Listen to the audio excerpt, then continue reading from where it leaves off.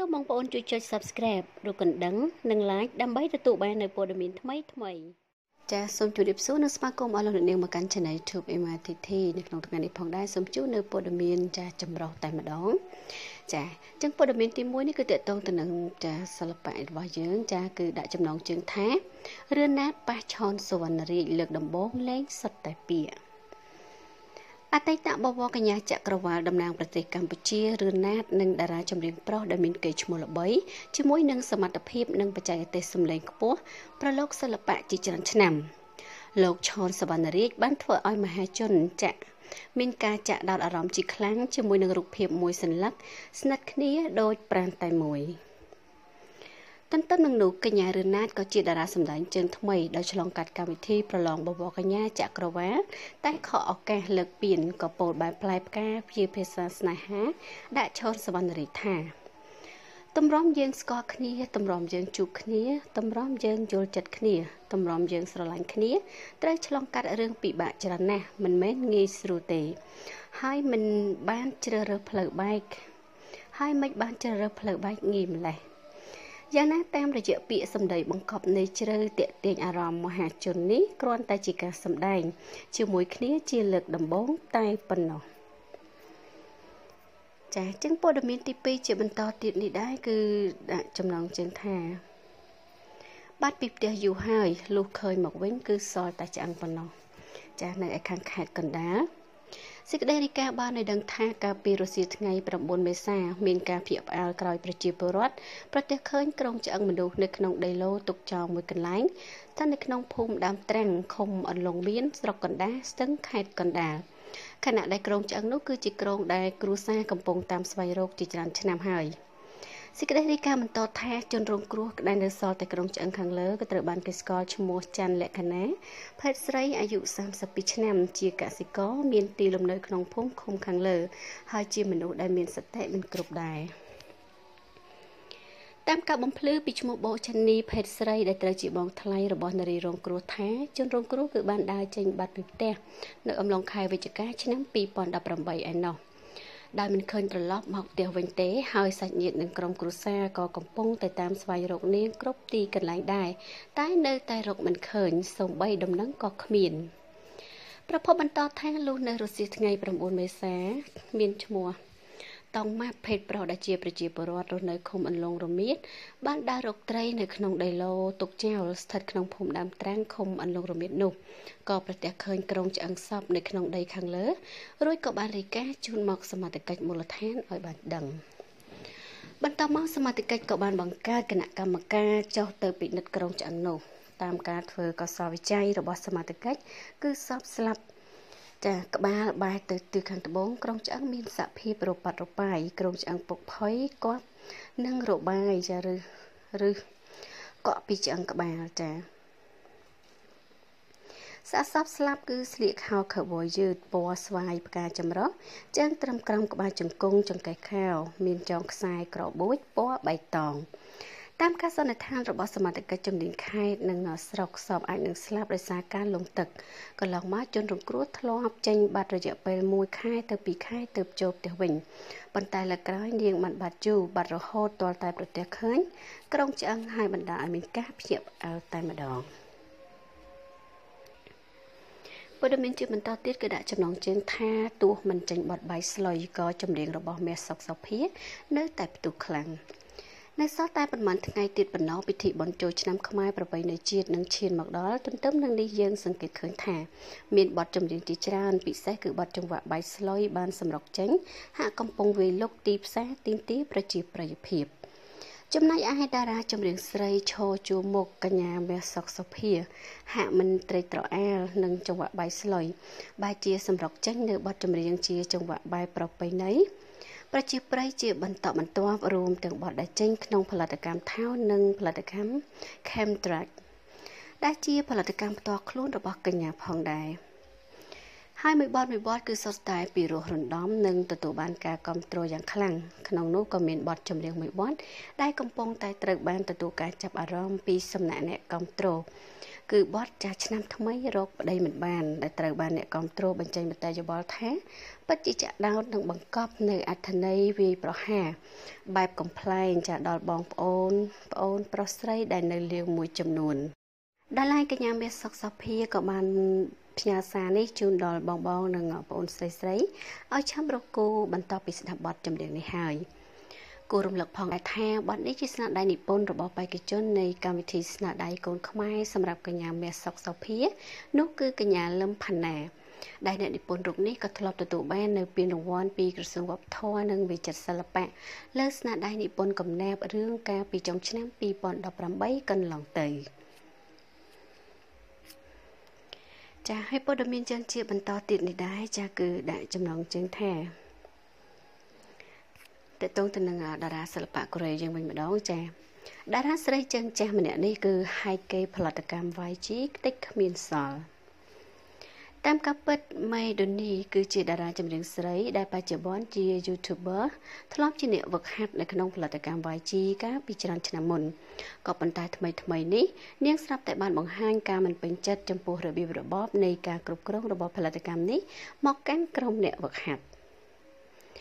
ម៉ៃដនីគឺបង្ហាញថានាងធ្លាប់បានវឹកហាត់ដំបងនៅក្នុងផលិតកម្ម JYP កាលពីអាយុ11ឆ្នាំជាមួយនឹងសិនយី ក្រុម Wonder Girl និង Junon ក្រុម 2AM 4ឆ្នាំក្រោយមកនាងក៏បានផ្លាស់ប្ដូរទៅវឹកហាត់ក្នុងផលិតកម្ម YG អស់រយៈពេល4ឆ្នាំទៀតដែលគ្មានការបង្ហាញខ្លួនឡើយម៉ៃដូនីបានរៀបរាប់បង្ហាញនៅការប្រួយបារម្ភថាការនោះនាងត្រូវបានផលិតកម្ម YG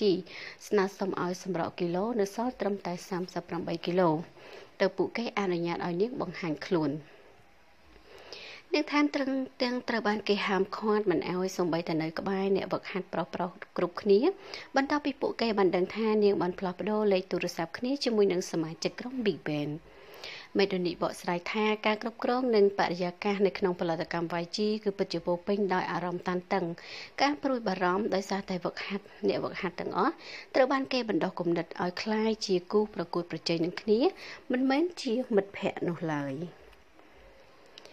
ចាចឹងព័ត៌មានយើងនេះក៏ជប់បញ្ចប់ហើយយើងបន្តនៅព័ត៌មានមួយទៀតចាដែលតកតងទៅនឹងតារា Facebook របស់យើងដែលល្បីចាគឺអារីនួនដែលល្បីថា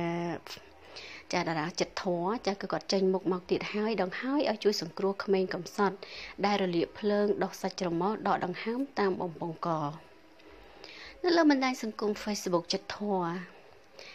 អារីនូនឬក៏ស្រីអូន បានរំលេចរូបប៉ុន្មានសន្លឹកបង្ហាញពីខ្សែជីវិតក្មេងអភ័ព្វជាង1ឆ្នាំ រលាកភ្លើងចាស់គឺខូចមុខដោះសាច់ច្រមុះដកដង្ហើមតាមបំពង់កចំណែកគ្រួសារក៏ក្រីក្រគ្មានលទ្ធភាពព្យាបាលនោះក៏ប្រកាសថាសូមឪពុកម្ដាយក្មេងតាក់ទងមកខ្ញុំផង សូមជួយ share ឲ្យម្ដាយឪពុកគាត់បានឃើញផង ពីទឹកចិត្តអាណិតអាសូរស្ទើរស្រក់ទឹកភ្នែកនោះក៏បន្តថាមីងកំពុងតាក់ទងទៅពេទ្យហើយបន្ទាប់មីងនឹងជួយក្មួយតាមអ្វីដែលមីងអាចធ្វើបានអាណិតណាស់ក្មួយអើយឃើញក្មួយនឹកស្រមៃដល់កូនខ្លួនឯងពិតជាខ្លោចផ្សិនណាស់គួរឲ្យអាណិតណាស់បងប្អូនអើយមុខត្រូវរលាកភ្លើងចង្ក្រានអីលើច្រមុះដោះសាច់ចិត្តអស់សពថ្ងៃដកដង្ហើមតាមបំពង់កទេ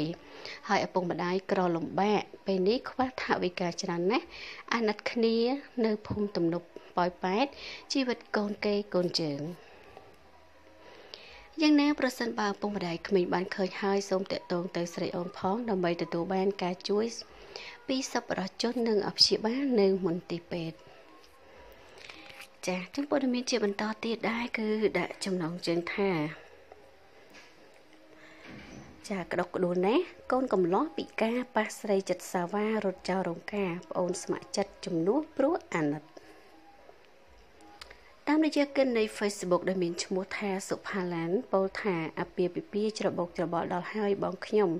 ថ្ងៃពិសេសបែរជាគ្មានកូនក្រមុំមកផ្ទឹមជាមួយអញ្ចឹងអាណិតបងខ្លោចចិត្តមើលតែមុខដឹងហើយថាពិបាកចិត្តសង្រេងប៉ុណ្ណា ដែលមនុស្សខ្លួនចង់ក្រៀបផ្ទឹមជាមួយគេមិនមកដោយសារតែខាងស្រីគេតាមម្ដាយរបស់គេចុះហេតុអ្វីពីដំបូងមកមិនក៏នាងមិនប្រាប់ថាមិនស្រឡាញ់នាងចូលមកប្រឡូកក្នុងជីវិតបងប្រុសរបស់ខ្ញុំធ្វើអ្វី ពីនៃខឹងសម្បាទៅលើចិត្តស្រីសាវ៉ាមកប្រហារទឹកភ្នែកបងប្រុសនោះក៏បន្ថែមទោះបីបងខ្ញុំពិការជើងដើរមិនរួយក៏ពិតមែនតែចិត្តនឹងបេះដូងរបស់បងខ្ញុំមិនពិការទេនាងនឹងក្រុមគ្រួសារនាងធ្វើបាបផ្លូវចិត្តបងខ្ញុំពេកហើយមិនក៏មានរឿងអញ្ចឹងកើតឡើងមកលើគ្រួសាររបស់ខ្ញុំអញ្ចឹងមិនយល់ទេថ្ងៃកាបែរជាយកប្អូនស្រីបង្កើតខ្លួនឯងមកជំនួសវិញកូនក្រមុំរត់ចោលរោងកេះដោយគ្មានក្តីអាណិតចំពោះកូនកំឡោះសោះ បើមិនចង់ការមកបង្ខំឲ្យម៉ែនិងបងបងរបស់ខ្ញុំស្វាស្វែងដើរផងរត់ផង ដើម្បីប្អូនឲ្យបានសម្រេចដូចក្តីបំណងតែបែរជាខកបំណងទៅវិញចង់ក្រោយបន្ថែមលើទឹកចិត្តទៀតថាពេលនេះទឹកភ្នែកខ្ញុំហូររហូតឈឺចាប់ខ្លាំងបំផុតសែនអាណិតដល់បងប្រុសជាទីស្រឡាញ់របស់ប្អូន បងកុំយំអីណាបងសំណប់ចិត្តប្អូនមិនដឹងជួយយ៉ាងម៉េចទេ ខ្ញុំសូមសំណូមពរភ្ញៀវកិត្តិយសទាំងអស់អញ្ជើញមកចូលរួមញ៉ាំការបងខ្ញុំយប់នេះផងកុំឲ្យកូនកំឡោះអស់ក្តីសង្ឃឹមខ្ញុំសែនស្រណោះដល់បងប្រុសជាទីស្រឡាញ់ណាស់ស្រឡាញ់ពេញបេះដូងស្រឡាញ់លើសពីជីវិតខ្លួនឯងទៅទៀត។ចាចឹងជារឿងរ៉ាវមួយដ៏កម្រតែគាត់មាននៅក្នុងសង្គមរបស់យើងចាដែលកូនកំមុំនេះគឺគាត់អត់ចូលមកក្រាបទឹមទេចាគាត់រត់បាត់នៅក្នុងថ្ងៃអាពាហ៍ពិពាហ៍ ក៏លេចមកព័ត៌មានសិល្បៈយើងឯនេះវិញនៅដាក់ចំណងជើងថាក្រោយអាស្រូវស្នេហ៍ដល់ផ្លូវជាប់ឆៃលីដាឡែនបង្ហាញមុខរួមជាមួយនឹងស្វាមីដើម្បីបញ្ចប់មន្ទិលតារាស្រីសិចស៊ីកូនមួយឆៃលីដាឡែនបានហួសចិត្តក្រោយមួយរយៈពេលចុងក្រោយនេះផងដែរក៏ដែលមានសារព័ត៌មានក្នុងស្រុកចុះផ្សាយពីការចែកផ្លូវគ្នារួមស្វាមីក្មេងបានសម្រស់ទាំងអ្នកនាងចេញមុខថាខ្លួនមិនដឹងតតែសោះ ហើយនាងនិងស្វាមីនៅតែធម្មតាគ្រាន់តែមិនសូវបានទៅណាមកណារួមគ្នាព្រោះរវល់ការងាររៀងខ្លួនតែប៉ុណ្ណោះជាណាមិញកាលពីចុងសប្តាហ៍កន្លងទៅក្នុងពិធីបុណ្យខួបគម្រប់100ថ្ងៃឪពុករូបភាពវត្តមានរបស់ឆៃលីដាឡៃនិងស្វាមីបានធ្វើឲ្យមហាជនកាន់តែកក់ក្ដៅនិងជឿជាក់ខណៈអ្នកគ្រប់គ្រងក៏មិនចង់ឃើញពីភាពបែកបាក់របស់តារាស្រីល្បីតែងខ្លួនប្លែកតែស្រស់រូបនេះនោះឡើយ ចាអញ្ចឹងពីមុននេះខ្ញុំធ្លាប់រៀបរាប់ប្រាប់ចាធ្លាប់ជម្រាបជូនទៅទៅនឹងព័ត៌មានចាចាំរាមដែលថាគាត់បានបែកបាក់គ្នាចាតាមពិតទៅគឺពួកគាត់នៅសុកសានជាមួយគ្នានៅឡើយនោះទេចាព័ត៌មានជើងមួយទៀតគឺដាក់ចំណងជើងថាអិនសុផិនដឹកនាំតារាតារាចេញប្រកួតបាល់ទាត់នៅប្រទេសថៃ កាលពីថ្ងៃទី9មេសាលោកអិនសុផិនម្ចាស់ផលិតកម្មមហាហង្សបានដឹកនាំតារាសម្ដែងនិងតារាចម្រៀង5រូបរួមមានទាំងលោកភឹមតារាវិបុលលោកសេះរតនមង្គលតារាចម្រៀងលោកគូម៉ាតារាចម្រៀងខេមនិងអតីតតារាសម្ដែងលោកតុលាចេញទៅប្រកួតបាល់ទាត់នៅក្នុងប្រទេសថៃទៅប្រកួតជាមួយក្រុមតារាថៃដូចគ្នានៅទីក្រុងបាងកក ដែលការប្រកួតនឹងដំណើរការនៅល្ងាចថ្ងៃទី9មេសាដោយការប្រកួតលក់សម្បត្តិដែលទទួលបានគឺប្រើជួយដល់មន្ទីរពេទ្យនិងមណ្ឌលកុមារកំព្រា50%នៅក្នុងប្រទេសថៃនិង50%នៅក្នុងប្រទេសកម្ពុជាលោកអិនសុផិននិយាយថាមូលហេតុដែលនាំឲ្យមានការប្រកួតជាលក្ខណៈឆ្លងប្រទេសហើយធ្វើឡើងនៅប្រទេសថៃនេះគឺដោយសារតែក្រុមបាល់ទាត់របស់ថៃបានស្នើមកកាន់ក្រុមបង្កេតអង្គ All Star ហើយក្រុមបង្កេតអស្តាក៏បានសហការជាមួយនឹងក្រុមតារាមហាហង្សដើម្បីឲ្យមានតារាតារាដែលមានធ្វើជើងល្អចូលរួមក្នុងបំណងមិត្តភាព និងដើម្បីស្វែងរកមូលនិធិជួយដល់សង្គមក្នុងប្រទេសទាំងពីរលោកថាក្រោយប្រកួតមិត្តភាពនេះគឺទោះបីជាចាញ់ឬក៏ឈ្នះក៏ក្រុមអស្តារបស់ប្រទេសយើងនឹងមកប្រកួតរបស់ប្រទេសនឹងមកប្រកួតនៅប្រទេសកម្ពុជាវិញម្ដងក្នុងគោលបំណងដូចគ្នាដោយគ្រាន់តែមិនកំណត់ពេលវេលា លោកថាក្រុមតារា2ក្រុមមហាហង្សមានចំនួន6រូបនិងក្រុមបង្កើត6រូបដោយតារាតារាដែលលោកសម្រេចចិត្តជ្រើសយកទៅប្រកួតនៅក្នុងប្រទេសថៃនោះគឺសុទ្ធតែជាកីឡាករប្រចាំក្រុមដែលមានថ្វីជើងល្អដូចជាលោកខេមលោកគូម៉ាលោកភឹមតារាវិបុលលោកសេងមង្គលនិងលោកប៉ែនតុលា គឺសុទ្ធតែជាតារាតារាដែលមានស្នាដៃខ្លាំងក្នុងការប្រកួតកន្លងមក ក្រុមរបស់លោកនឹងត្រឡប់មកវិញបន្ទាប់ពីការប្រកួតបញ្ចប់មួយថ្ងៃ